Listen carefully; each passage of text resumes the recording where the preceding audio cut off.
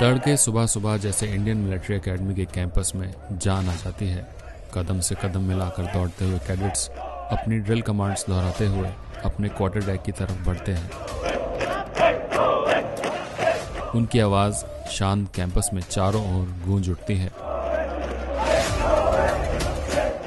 Cadets कड़ी मेहनत वाले एक और ट्रेनिंग सेशन के लिए ग्राउंड में इकट्ठा हो चुके हैं। ये शरीर को थका देने वाला बेहद कड़ा अभ्यास करते हैं और इसका जिम्मा होता है कुछ खास इंस्ट्रक्टर्स का, जिन्हें ड्रिल उस्ताद कहा जाता है।